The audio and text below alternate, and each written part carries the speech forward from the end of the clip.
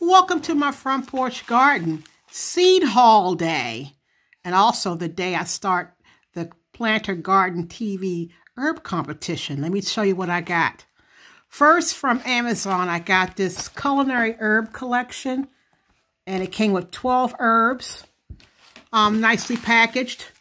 Savory, chives, parsley, marjoram, dill, basil, sweet Genovese basil, slow bolt cilantro.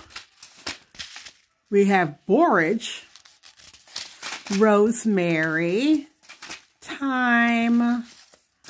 Oh, was it borage? Oh, it was herb. I'm sorry, it was sage earlier. This is borage and oregano. Okay. 12 herbs. 12 packs of herbs. I think it was like about 8 or $9. It wasn't bad. Actually, it was more than that. Probably about 13 or 14. Okay. Next up is seeds and such. I ordered some stuff from them because I just wanted to try some stuff. Uh, they had that Beit Alpha cucumber that Hands in the Dirt recommended, so I got that. We have the hybrid sun sugar tomato, cherry tomato, the cucumber Beit Alpha. I got a hybrid zucchini. I love zucchini. And then I have arugula. I love arugula. Great, great salad stuff. Um, I got for free seeds. They only give you five seeds. Look, uh, pepper, fire and ice pepper, and the chocolate pear tomato. I've never tried seeds and such. I'm interested to find their their their um germination rate. Okay, now go perennial favorite. Uh, the seed company. I can't remember the name right now.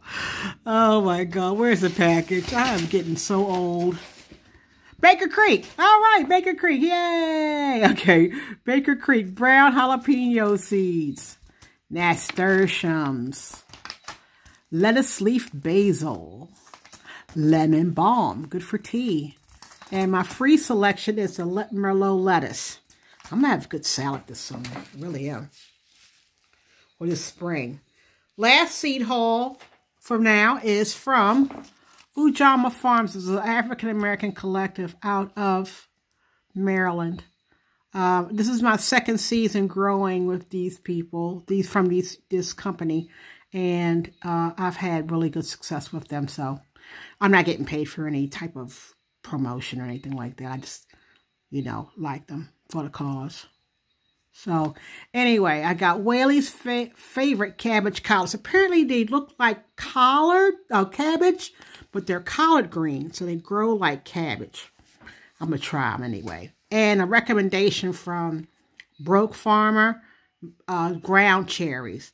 I had a, a, a volunteer ground cherry I didn't find until it was dead last year. So, I'm hoping that I can actually purposely grow one and uh, it'll turn out all right. So I've yet to make my decisions on what kind of tomatoes I'm going to, I'm not tomatoes, what kind of herbs I'm going to grow.